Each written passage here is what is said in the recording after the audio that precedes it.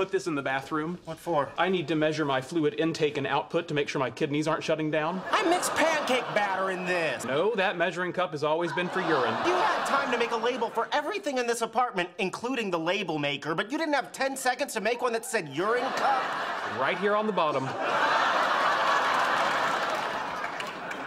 I guess I owe the Betty Crocker Company a letter of apology.